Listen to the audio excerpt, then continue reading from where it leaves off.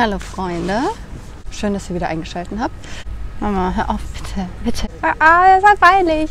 Okay, also ich habe es mir selbst ausgesucht. Ich bin in einer Woche bei einem Festival in Kroatien beim Modem und dort bin ich im Psycare-Team und das habe ich jetzt als Anlass genommen, davor noch ein kleines Video zu machen, um zu erklären, was Psycare eigentlich ist und äh, was wir so machen und was das für einen Nutzen hat. Also schön, dass ihr da seid und los geht's. Psycare, was ist das eigentlich? Psycare setzt sich zusammen aus Psychological oder auch Psychedelic Care und es ist ein Harm Reduction Angebot, also ein Angebot zur Schadensminimierung bei Festivals. Da arbeiten wir einmal präventiv mit Informationen und ähm, Aufklärung und auch Materialien, um den Konsum sicherer zu gestalten, indem wir zum Beispiel Zierröhrchen verteilen. Auf der anderen Seite arbeiten wir aber auch vor allem ähm, mit akuten Fällen. Das ist eigentlich so der Hauptbereich und da geht es um Leute, denen es beim Festival nicht gut geht. Es ist auch eine Ergänzung zu anderen Angeboten, zum Beispiel zu Drug-Checking-Teams. Das Psycare-Team ist da für Fälle, äh, wenn es Leuten schlecht geht, wenn sie auf Bad-Trips sind, äh, wenn sie ähm, Schlafentzug haben oder Dinge kombinieren, die man nicht kombinieren sollte. Die Gefühlszustände, äh, mit denen Leute ins Zelt kommen, ähm, variieren von Angst, Verwirrtheit, Unwohlsein bis hin zu Psychosen.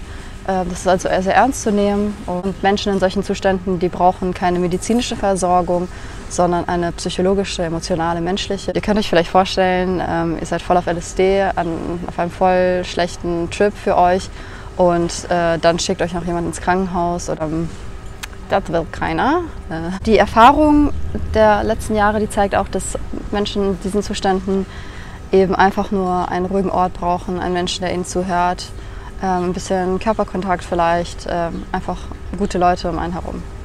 Die beste Hilfe, die ist natürlich die, die gar nicht erst gebraucht wird. Das heißt also, wenn ihr auf Festivals geht, ähm, versucht einfach selbst bestmöglich dafür zu sorgen, dass ihr in keine allzu schlechte Situation kommt. Also seid natürlich informiert über das, was ihr nehmt, seid euch möglichst sicher über das, was ihr nehmt. Ähm, konsumiert nicht zu viel, nicht zu oft hintereinander, achtet auf ausreichend Schlaf und ähm, Essen und unterschätzt auch solche Faktoren wie Hitze, Staub, ähm, was auch immer, unterschätzt das nicht. Außerdem ist natürlich wichtig, dass ihr nicht nur auf euch selbst, sondern auch auf die Leute um euch herum achtet und dass, wenn es solche Angebote gibt wie Psycare, dass ihr die auch in Anspruch nehmt, wenn es euch schlecht geht, dass ihr einfach mal vorbeikommt, mit uns quatscht und ähm, ja, informiert bleibt. Oh, alles Regelchen. Meine eigene Erfahrung dazu, ich war bisher nur auf einem Festival vor zwei Jahren. Da wurde Psyche Austria auch ähm, gegründet in dem Jahr. Letztes Jahr ist natürlich nicht viel passiert. Und ähm, ich habe es geliebt. Es war ein super kleines Festival, wo das Angebot nicht so dringend notwendig war. Ähm, ich hatte in den Schichten, die ich übernommen habe, eigentlich gar keine schlimmen Erfahrungen. Bei dem Festival, wo ich jetzt hinfahre, das wird eine Woche lang dauern, da gehe ich schon davon aus, dass es ein bisschen ähm, anspruchsvoller wird. Da werden wir aber auch äh, größere Teams haben. Es sind immer erfahrene Leute auch mit dabei. Und ähm, im Endeffekt, die Erfahrung vor zwei Jahren, die hat mir gezeigt, dass ich in nächster Zeit eigentlich gar kein Interesse habe, einfach so auf ein Festival zu fahren, weil ich es sehr genieße, im Team zu sein von Leuten, die eigentlich alle rundum cool sind und ähm, eben dieses Thema bewussten Konsum in den Vordergrund rücken und einfach Spaß dabei haben, irgendwie zu helfen und Außerdem kommt man natürlich kostenlos auf Festivals, was super, super schön ist.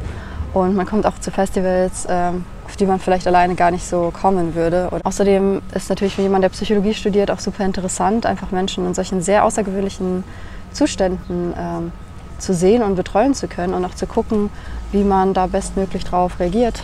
Was ich euch mitgeben will, passt aufeinander auf, falls euch das alles interessiert. Informiert euch, äh, wie ihr mitmachen könnt. Und ja, ich hoffe, ihr habt noch einen schönen Sommer und wir sehen uns bald. Tschüss.